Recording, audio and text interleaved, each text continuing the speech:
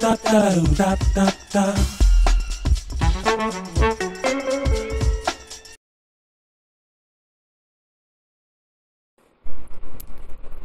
Welcome to my channel Crafting Matt.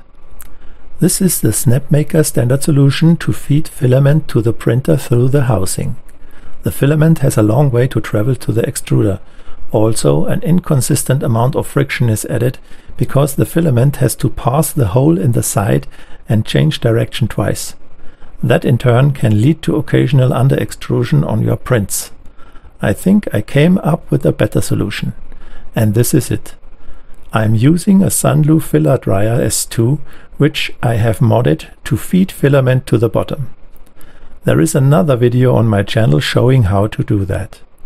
The filament will exit through the bottom of the filament dryer and enter the housing from the top.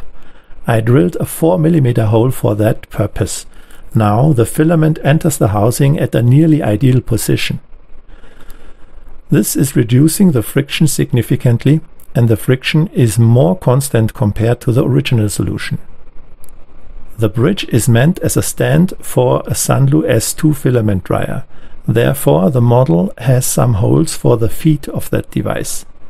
There is also a hole for the 4mm Bowden tube.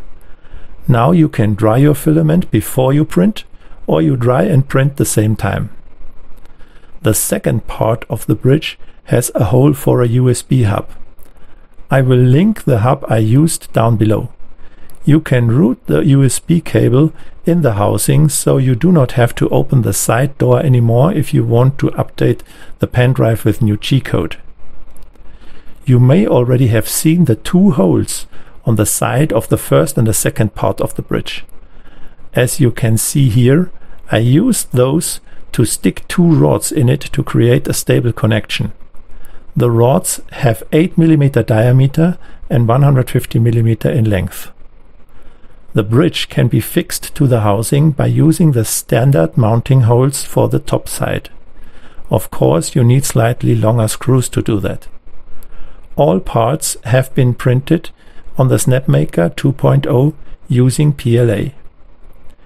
If you are using the double extruder, you could print the Sunlu stand part twice and place two Sunlus on top of the bridge. The display of the right device would face backwards in that case, but in my point of view, this is still much better than dealing with the original solution and issues with wet filament.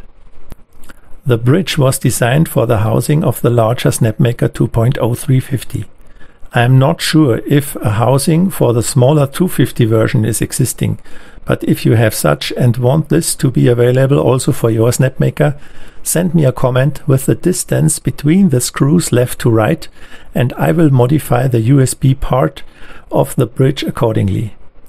If you like this video, give me a like and feel free to comment down below. As always, stay safe and maybe we see in another video.